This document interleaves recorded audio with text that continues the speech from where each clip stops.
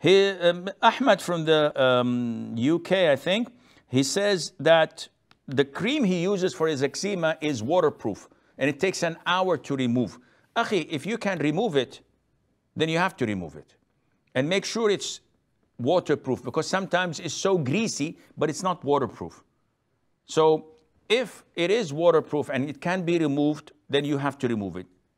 If removing it causes more harm or would affect your eczema, or the doctor say that you should not remove it, then you should perform normal wudu on all other limbs except the one that has the eczema on. And afterwards, you perform tayammum for skipping washing that area.